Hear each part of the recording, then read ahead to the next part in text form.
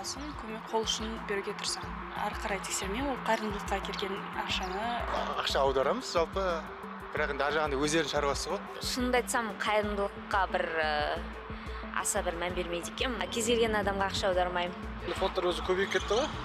Оның екінің бірін тексеруге по моему халықтың несі келмейді возможность болмайды. Тексерген жоқпын мен анау инстаграмнан шығады соған жолдасымыз екеуміз ылғи лақтырамыз. бес жүз мың теңге пенсионерміз шамамызға қарай сауалнамадан байқағанымыздай халық қашан да көмекке әзір.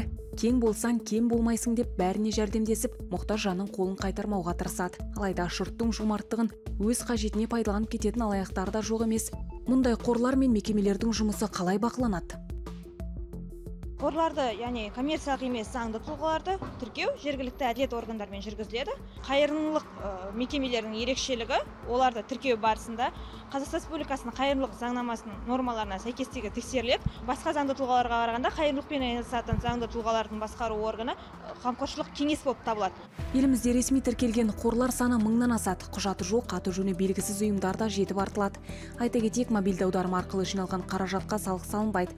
2015 жылы 16 қарашада қабылданған. Қайырымдылық туралы заңда да жұмыс барысын бақылайтын жүйе мен арнайы мекеме көрсетілмеген. Енді ешкімге де жаңалық емес жалпы бізде қорлар. Қоғамдық қорлар болсын жеке қорлар болсын мемлекет тарапынан есеп жүрмейді. Яғни аудит жүрмейді оларға. Мемлекет тексере алмайды. Қайырымдылықтың ақшасына салық салынбайды. Э, осындай э, пайда көнем қорларда э, жұмыс жасауы мүмкін. Заң тұрғысынан қайырымдылыққа түскен ақшаның отыз пайызын әрбір қор өзінің әкімшілік шығындарына жұмсай алады. Оған заң рұқсат береді. Ал бірақ та толықтай жаңағы көмек көрсетілген көрсетілмегенін біз былай айтқанда өкінішке орай толық бақылай алмаймыз. Бақылау болмағандықтан қитұрқы қайырымдылық та азаяр емес. Қаржылық мониторинг агенттігінің мәліметінше жыл басынан бері 660 мың қазақстандық жомарттық жасаймын деп алаяқтардың шотына миллиардтап ақша аударған. Былтырдың өзінде 97 миллиард теңге қолды болыпты. Бүгінгі таңда анықтап отырған 138 карт шоты бар. 6 миллиард ә, теңге қаражаттың 33 пайызы демек 2 миллиардқа жуық ақшасы ақшаның алаяқтық белгілері бар.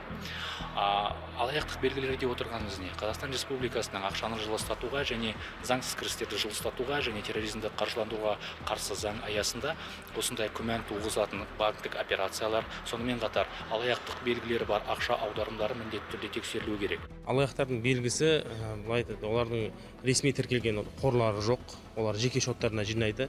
Ал жеке шоттар бізде кәдімгі конституциямен қорғалған адам адамның жеке өзінің банктік шоттарына құпиялығын сақтауына құқылы сондықтан да ешкім оны барып тексере алмайды.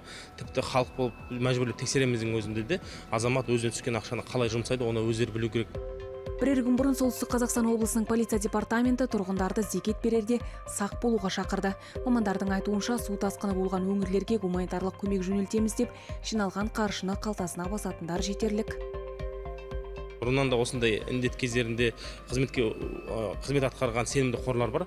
Соларға жіберген дұрыс енді егер көмектесемін деп жатқан болатын болса кәдімгі қазіргі кезде арнайы көмектесу пункттары бар. Сол жерге тауарлай азық түлік ретінде болмаса жаңағыдай өздерінің қаражаттарын сенімді мысалға мешіттер бола ма болмаса осындай бір ұйымдарға апарып бергені абзал.